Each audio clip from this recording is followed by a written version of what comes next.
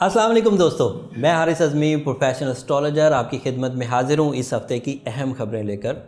Being a جو میری duty تھی، آپ تک مفید باتیں سولر سسٹم کی، فلکیاتی اسرار اور رموز پہنچانا، اسے پورا کرتے ہوئے آج آپ کی خدمت میں حاضر ہوں۔ میرے پاس دو بڑی خبریں اور ان خبروں کا امپیکٹ آپ کی لائف پر ضرور آئے گا۔ زیادہ تر جو شعبہ جات زندگی ہے، اس میں ان خبروں کا امپیکٹ ان خبروں کا اثر آپ کو دیکھنے میں ملے گا۔ ایک خبر تو یہ ہے کہ وینس اپنے چوتھے گھر سے اٹھائیس جولائی کو نکل کر پانچویں گھر میں داخل ہوگا۔ یہ ہفتہ سمجھیں کہ ست، اٹھائیس جولائی سے تین اگست تک کا ہے۔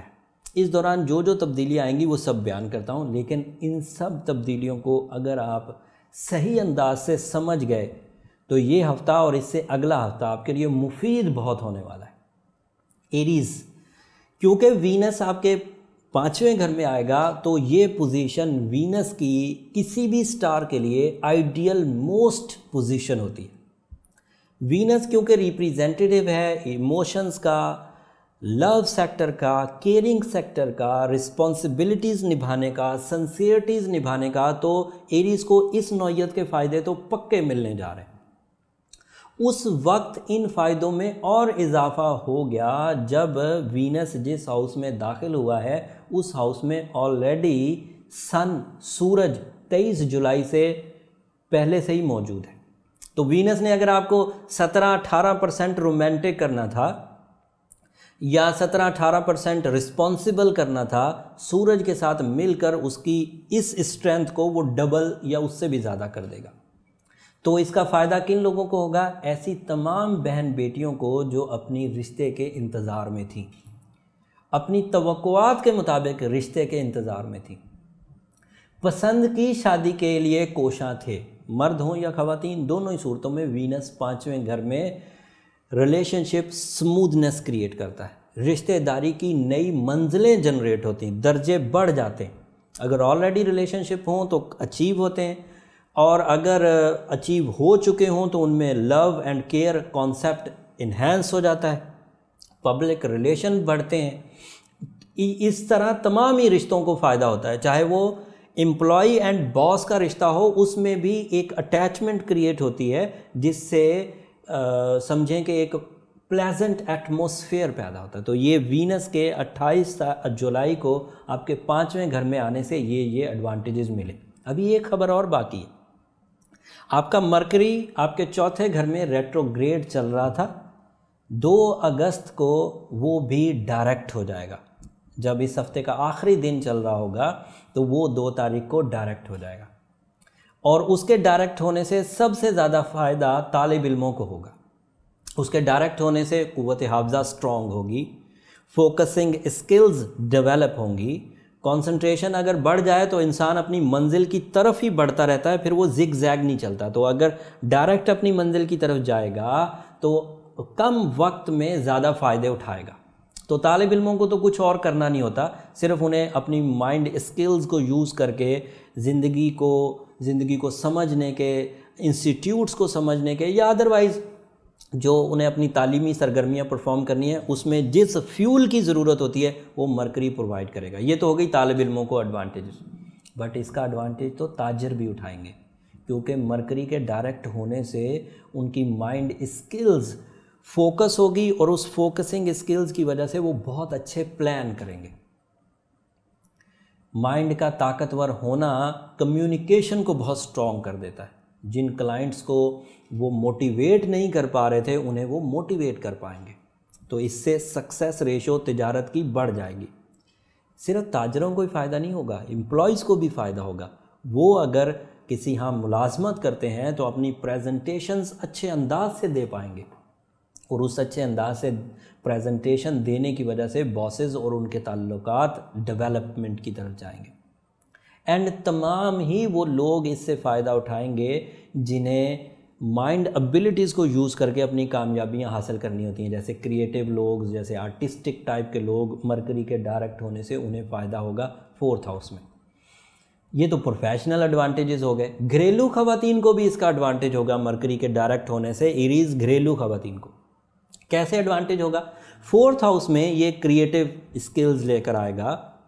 مائنڈ جو ہے وہ پاورفل ہوگا۔ فورتھ ہاؤس لگژریز کا گھر ہے، گھر کی تازین و آرائش کا ہے، گھر کو سنبھالنے کا ہے۔ کیونکہ فورتھ ہاؤس میں مرکری ڈائریکٹ ہوگا، تو اس کے ایڈوانٹیج جو گھریلو لیول کے ہیں، گھر کی تازین و آرائش، گھر کی اصلاح کرنا، چیزوں کو سمیٹنا، سنبھالنا، یہ سب گھریلو خواتین بھی کر پائیں گی۔ تو یہ تو دو بڑی نیوز ہو گئی۔ ایک بڑی نیوز مذہبی نوعیت کی بھی ہے اور آسٹرولوجیکل نوعیت کی بھی ہے۔ امید یہ ہے کہ دو تاریخ کو نیا چاند بھی ہو جائے گا۔ اور آپ کے ہاں وہ نیا چاند پانچویں ہی گھر میں ہوگا۔ یہ نیا چاند ہونا ہی ایک بڑا ایونٹ ہے۔ بٹ اس ایونٹ میں اس وقت اور طاقت آ جائے گی کہ جب یہ نیا چاند ذی الحج کا ہوگا۔ رمضان کے بعد دوسرا طاقتور اسپرچل اسٹرینتھ والا جو ٹائم جو بڑے دس دن کہلاتے ہیں وہ دو اگست سے شروع ہو جائیں گے۔ آپ کے ہاں وہ پانچویں گھر میں ہوں گے۔ تو اس کا مطلب ہے کہ you have lot of new emotions new passion جو کہ مذہبی نوعیت کا بھی ہوگا اور انٹرٹینمنٹ نوعیت کا بھی ہوگا۔ آپ کی دلچسپی کے امور بھی بڑھیں گے اس دو اگست کو اور مذہبی جوش و خروش میں بھی اضافہ ہوگا۔ یہ وہ تین بڑی خبریں تھیں، نئے چاند کی، مرکری کے ڈائریکٹ ہونے کی، وینس کے گھر بدلنے کی، جو جو کہ اس ہفتے سامنے آئے گی۔ اگلے ہفتے اس سے بھی بڑی خبریں ہیں۔ وہ اگلا ہفتہ آئے گا تو میں بیان کروں گا۔ پھر جوپیٹر بھی ڈائریکٹ ہونے جا رہا ہے۔ بارہ اگست کو وہ بھی بیان کروں گا۔ تو آگے جو کچھ تھوڑی ویڈیوز آنے والی ہیں بڑی امپورٹنٹ ہے۔ بس ایک چیز جو ذرا مبہم انداز سے میں آپ کے سامنے رکھوں گا اینڈ دین پھر ریمیڈیز کی طرف جاتے ہیں اور جن چیزوں سے آپ اپنی زندگی میں فائدہ اٹھا سکتے ہیں، انہیں تھوڑا سم اپ کرتے ہیں۔ سولر آسٹرولوجی سائنسز میں میں ویسے اس چیز کا زیادہ قائل نہیں ہوں، لیکن اسٹرالوجی سائنسز میں جب بے اولاد جوڑے کو پرڈکٹ کرنا ہو کہ اس کے ہاں اولاد کب ہوتی ہے، تو وینس اور سن کے پانچویں گھر میں آنے کی وجہ سے ہی ہوتی ہے۔ سو آسٹرولوجیکلی یہ ماحول بنا ہوا ہے کہ اگر ستاروں کی چال کی وجہ سے کسی کے ہاں اولاد کے سمٹمز یا فرٹیلیٹیز انہینس ہونی ہے تو وینس اور سن کے پانچویں گھر میں ہونے سے ہی آنی تھی۔ اور وہ دونوں اس وقت موجود ہیں تو بے اولاد ایریز ایک طرح سے آسٹرولوجیکل سپورٹ کے ساتھ چل رہے ہیں۔ تو یہ ایک چھوٹی خبر جو مجھے الگ سے دینی تھی۔ تھوڑا سم اپ کرتے ہیں چیزوں کو۔ ایریز کو ان کا رولنگ پلانٹ مارس ہی مارس بھی پانچویں ہی گھر میں ملا ہوا ہے۔ تو اب اگر اس چیز کو ملا دیا جائے مارس کا پانچویں گھر میں ہونا غیر معمولی صلاحیتوں کو ریوارڈ میں کنورٹ کرے گا، غیر معمولی ریوارڈ میں کنورٹ کرے گا پھر سن کی وجہ سے وہ ریوارڈ لمبا چلے گا، پھر وینس کی وجہ سے وہ ریوارڈ رسپیکٹفل ہوگا، تو یہ اتنے بڑے ایڈوانٹیج آپ کے ساتھ ساتھ ہیں۔ مارس کے پانچویں گھر میں ہونے کی وجہ سے پرسنالٹی ڈیولپمنٹ نیچرل اسکلز کا بڑھنا اور نیچرل رہتے ہوئے ہی بڑی کامیابیاں حاصل کرنا، یہ سب ممکنات میں سے ہے۔ بٹ ایک خبر جو پرانی ہے اور ابھی تک وہ ٹربل دے رہی ہے، وہ ہے ٹینتھ ہاؤس کا سیٹن کے انڈر ہونا۔ سیٹن چاہے وہاں پر ریٹروگریڈ ہے، لیکن تھوڑی سی ٹربل ہے۔ دوسری خبر جوپیٹر کے نائنتھ ہاؤس میں ریٹروگریڈ ہونا ہے۔ یہ بھی تھوڑی سی مایوس کن خبر ہے یا خراب خبر ہے، اس کو سنبھالنے کی ضرورت پڑے گی۔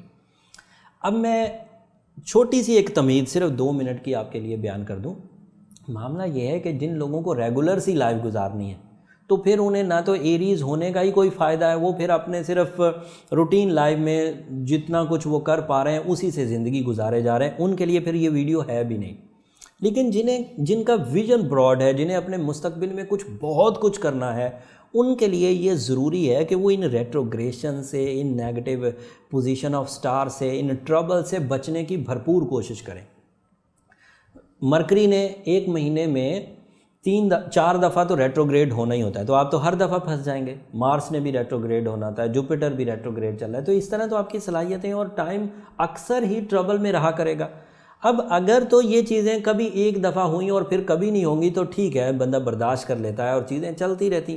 لیکن اگر ان کا سامنا آپ کو اکثر ہی کرنا ہے تو اس کا کوئی تدارک کر لیجیے اور تدارک میں جو فطرت پر رہتے ہوئے جو عمومی ریمیڈی ہے وہ یہ ہے کہ ایریز بلو سفائر یا ڈائمنڈ ویئر کریں۔ بٹ یہ عمومی ریمیڈی ہے۔ خصوصی ریمیڈی وہ ہوتی ہے کہ جب آپ اپنا برتھ چارٹ بنواتے ہیں تو اس برتھ چارٹ میں آپ کی صلاحیتیں اور آپ کا اسینڈنٹ ابیلٹی آپ کا سکسیس ریشو یہ سب سامنے آ جاتا ہے اور اس میں جو ٹربلز ہیں ان کو ریپیئر کرنے کے لیے کتنی اسٹرینتھ سے آپ کا ٹریٹمنٹ کرنا چاہیے وہ سامنے آ جاتا ہے۔ اس وقت چاہے بلو سفائر پرسکرپشن ہی ہو، لیکن وہ اچھی نوعیت کی افیکٹو وے میں ٹو دی پوائنٹ ہوگی تو وہ زیادہ آسانی پیدا کرے گی آپ کو زندگی میں، بجائے اس کے کہ آپ اوور آل جو ریمیڈیز سبھی ایریز کے لیے ہوتی ہے، وہی یوز کرتے رہیں۔ ہو سکتا ہے وہ کبھی آپ کے لیے افیکٹو ہو جائے بٹ وہ ہمیشہ افیکٹو نہیں ہوگی۔ کبھی آپ کو وہ رد بھی کر سکتی ہے۔ میرا مشورہ تو یہی رہے گا کہ اپنی ذاتی نوعیت کے سوالات ذاتی نوعیت کی کامیابیوں کو جج کرنے اور ذاتی نوعیت کی کمزوریوں کو پرکھنے کے لیے اپنا انفرادی لائف چارٹ یا برتھ چارٹ ضرور بنوائیے۔ اس سے آپ کو یہ سب آگاہی ہو جائے گی۔ اس کے لیے نمبر نیچے چلتے رہتے ہیں۔ اگر آپ ان پہ رابطہ کریں گے تو آپ کو ایک پراپر پروفیشنل رہنمائی وہاں سے مل جائے گی اور ذائچہ بنانے کا پورا پروسیجر آپ کو وہاں سے پتہ چل جائے گا۔ یہ ہفتے کی خبریں میں نے اچھے انداز سے آپ کو بتا دی۔ اگلے ہفتے اس سے بڑی خبریں ہونے والی ہیں۔ اور جب اگلے ہفتے خبریں دوں گا تو وہ بڑے دس دن بھی شروع ہو گئے ہوں گے اور ان بڑے دس دنوں کے جو معاملات ہیں وہ بھی آپ کو سمجھانے کی کوشش کروں گا۔ تب تک کے لیے اجازت دیجیے جاتے جاتے چینل کو ضرور سبسکرائب کر لیجیے اور میری آخری ریکویسٹ کہ اگر میری دی ہوئی معلومات سے زندگی میں چھوٹی سی کامیابی بھی حاصل کریں تو مجھے اپنی دعاؤں میں ضرور یاد رکھیے گا۔ اگلے ہفتے تک کے لیے اجازت۔ اللہ نے کے بعد